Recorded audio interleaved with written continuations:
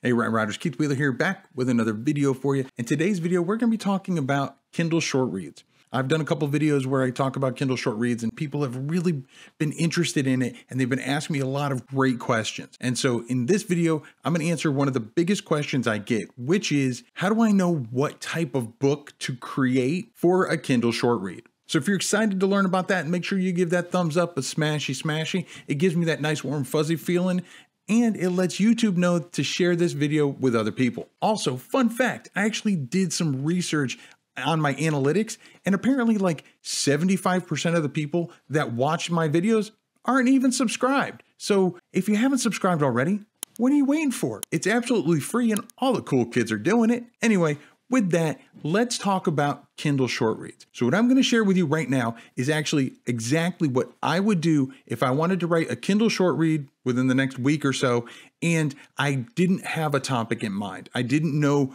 what niche to jump into. I wanted to do something different, and I wanted to basically what they call write to market. So, what could I do to better my chances of success with a Kindle short read by figuring out exactly what's selling? Well, the short answer is head on over to Amazon and find out. So let's do just that. I'm going to flip the screen around. We're going to go to Amazon and I'm going to show you what the top selling books are for Kindle short reads. So here we are on Amazon and we want to find the best selling Kindle short reads. And so we're going to go over here to all and I'm in incognito mode just so that way none of my search history affects anything that we do. And I'm just going to go in here and we're going to go to bestsellers and then in categories, we're going to go down to Kindle store and then right here, Kindle short reads. So Kindle short reads are broken down into the different categories based on the page length. So the estimated page length, estimated uh, time reading is 15 minutes, 30 minutes, 45 minutes, one hour, 90 minutes, and then two hours or more. And so basically anything under 100 pages can be considered a Kindle short read. Now, one thing I want to make note is this is an ebook only and so this does not exist for for paperbacks. And so uh, understand that it's Kindle pages based on the what the system considers a page, not uh, actual like a Word document pages. So keep that in mind. It, it'll vary a little bit. So anyway, so then what we're going to do is we're just going to find out what the top selling books are in those particular niches. And so you know you've got the top 100 paid, top 100 free right now because we're we want to uh, make money. Uh, and so we're going to focus on the paid, but you can do this exact same research using free if your book is going to be free. So if we don't know what length we want, like we don't care, we just want to know what the top selling books are, then we can just stay up here in the uh, in the main category of just short reads, and this will tell us the top 100 selling books in Kindle short reads in general, uh, regardless of what subcategory they are and uh, and then down here, just like with most categories, you're going to see uh, the top three new releases. And so we can just look uh, at the first one, and because many of these are going to be fiction books, it might be hard to tell exactly what the niche is. And so what I can do is I can hover over. I'm using uh, a, a free Chrome extension called DS Amazon Quick View, where it just shows me just by hovering over the picture, uh, it shows me what the product details are. If you don't have this, then you can just simply click on the actual title and it will bring you to the sales page and then you can scroll down about halfway and you'll get to the product detail section. It gives you the exact same amount of information. So um, when i hover over here it tells me what the other categories are. So uh, so this is a fiction book uh, parenting and relationships. It's in um, again it's in singles literature. So it's probably about relationships probably about being single that kind of stuff and um, and it's also in the 45 minutes short read so it tells me you know about how long it is. And so again and right now this is number one in all those areas. It's also number 41 in all of kindle store. So it tells you how voracious these readers are for this particular book. I mean this just published in on january 1st 2024 and right now it's january 17th 2024 as I'm recording this. So you're talking it's been around for uh, about two weeks, a little over two weeks, and it's already getting that kind of sales. So we'll go over to the next one. And uh, this one published last year, or back in 2022, actually. And it's 53 pages in, in print length. Uh, and then this one is holiday fiction. Uh, again, this is January, so you know it's probably still people interested in, in the holiday type stories. Uh, short shortly after the holidays, uh, so we've got holiday fiction. Uh, again, this is it's actually in books as well, and it's also in thriller and suspense. So if you want to do thriller and suspense, it, it shows that those type of books are selling. Okay. So let's scroll down and see what other ones. Now, I do see some of these like comic book themed ones. Um, so I wouldn't mess with that. This right here is just by the cover is probably um, a steamy romance would be my guess. And, and uh, actually it says it right there, steamy shorts. If you're into that, uh, then then yeah, that you're showing this shows that that these are selling as well. Um, it looks quite a bit of those. Uh, again, right now we're just in the the top 14. Again, there's a lot of these uh, comic book type books, uh, which again, I, I definitely wouldn't do anything that is based off of uh, intellectual property that is not your own. But yeah, so this, you know, real quick, will tell you again, we're in just the generic, the, the top level short reads. And as you can see, I want to scroll down here to, to number 100, just so you can see how voracious these readers are. Okay, so the number 100 book um, again, it's another one of those, uh, looks like steamy romance, and uh, it's ranked 3,787. So now just to put things in perspective, I'm going to flip over here to, uh, to a sales calculator that I use, and this is from Kindlepreneur, uh, ebook for Amazon.com, and I'm just going to put in the uh, the ranking. It's telling me it's selling 56 books on average per day to keep that rating, and that's the one that's ranked 100 in the group. So again, that shows that these are just voracious readers. Now again, this is in the main group, so we're going to go down to one of the uh, one of the subgroups. So let's say you know that you don't want to write a lot. You know you, you know you want to just write a quick short read, um, maybe 10, 10, 11 pages. So we're going to go to the 15 minutes and let's see what sells here. So uh, as you can see, this is uh, the very first one obviously they're going to most most of the time they're going to be 99 cents you know they're not going to be super you know pricey and one thing to keep in mind is you need to ask yourself you know one can you compete with those kind of sales that they're getting also look at the number of reviews like i mean this one has 4000 this one has you know over 20000 so we want to look and see exactly what you know what's what's selling and again, these are just general niches. There there is a sub niche within each one, as you can see. So right now we're in one to eleven pages. These are the different sub niches. Okay, so you can look at these and see if any of these topics jump out at you. Now, what I like to do is I go in and I just look and see what get an idea for some of the top sellers. You know what what niches are selling you know, some nonfiction, how to delete books from my Kindle library. I mean, that's simple. And this only has um, it has 116 reviews, but it doesn't look like they're great reviews. You know, they're three star, three and a half stars. So if you can write something better than that, then you that's one that you might be able to compete with. You know, these titles, I mean, these covers are not super great um, from what I'm seeing, especially the nonfiction ones. Um, how to buy Kindle books on your iPhone or iPad, how to return a borrowed Kindle book. So there's a lot of these in in these short reads in the 1 to 11 pages, 15 minutes that are a lot of nonfiction. And a lot of them seem to really be focused around Amazon and Kindle. Um, I mean, this one right here, it's 62,000. Let's see what that is. It's selling about four books a day. Not bad.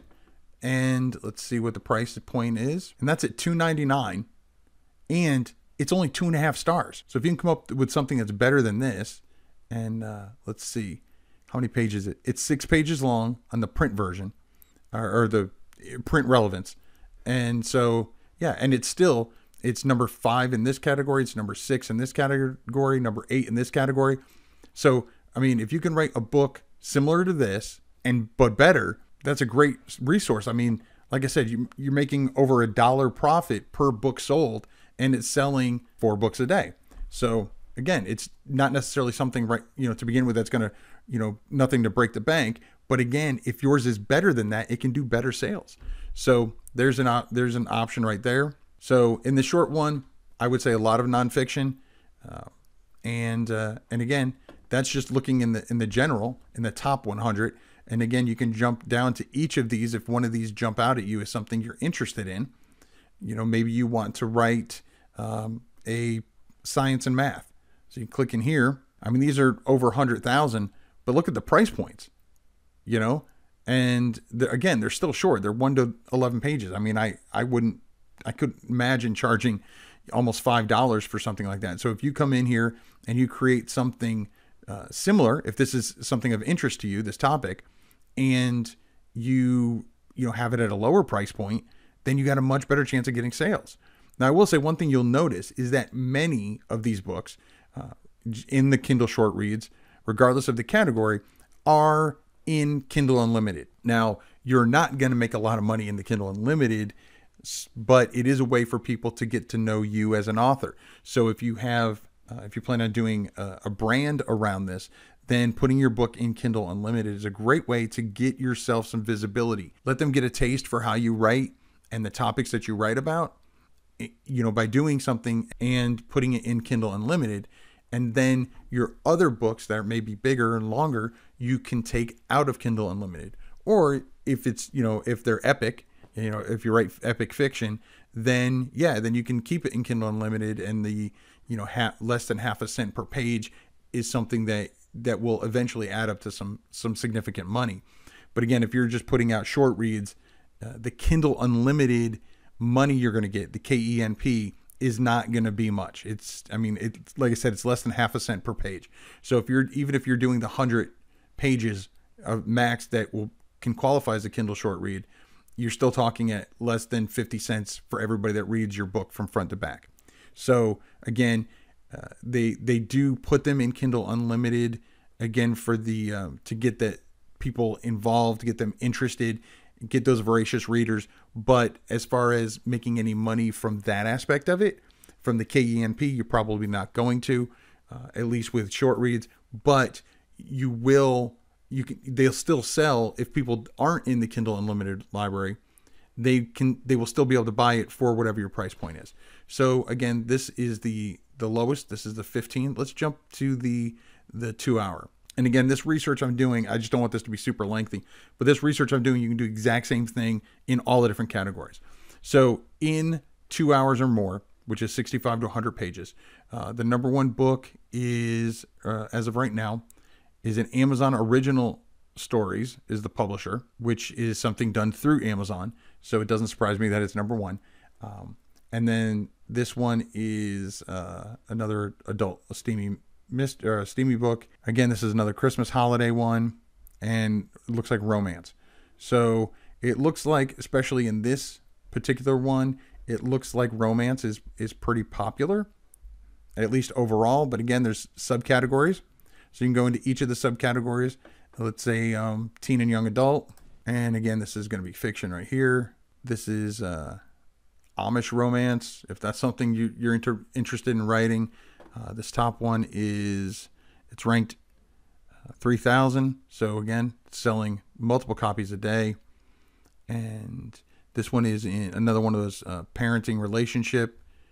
Um, looks like it's about divorce as well. And again i'm just using the categories to tell me about what the book is. Obviously not everybody puts their books in the correct categories but um, you know that's the best thing i you have to go by uh, without going clicking on each one reading the description and really learning more about the book. At this point, when I'm doing research for short reads, I'm not interested in knowing what this book is. I don't care. I want to know what the niche is, what type of book it is, so I can see off right from the beginning if it's something I'm interested in. You know, I I personally cannot write in something that I don't have some kind of interest in. Now that doesn't mean that if I see something lucrative that I can't hire a ghostwriter. But again, that's cost that'll cost you more money. So, um, but if it's a short read, you know maybe maybe it'll it won't cost you too much. So again, this is all something that you'll need to decide when it comes to your own business. But um, but yeah, it looks like these are uh, a lot of these are are romance. This one's more like a Harry Potter type book. You know, it's sword and sorcery and fantasy. So that's cool. So uh, and that's still doing well 24,000, not bad at all. And again, this is in teen and young adult. So go through here and look and see if any of these are of interest to you. Again, you don't want to copy any of this. You don't want to copy the story or, or the cover or anything like that. you just want to, you're just doing this research to see what is selling. What are people, as of the moment you're, you're checking it out, you're researching it, what are they buying? Especially when it comes to short reads, it, this is very beneficial because, you know, if you write an epic novel, it's going to take you longer to write. So you may do research on what we call writing to market, you know, writing to what the market is looking for. And by the time you publish it, the market might change. You know, they might not be interested. But when it comes to short reads, you know, many times you can knock out, you know, depending on on your writing style, uh, how how how skilled you are at writing, you know, how many rounds of edits you need to do, how many pages you decide you're going to do, all of that, you can probably knock out a, Kindle short read in as little as a day and you know uh, you know many people can do it within a week. And so there's a lot less chance of you know overall sales marketing changing in such a short period of time.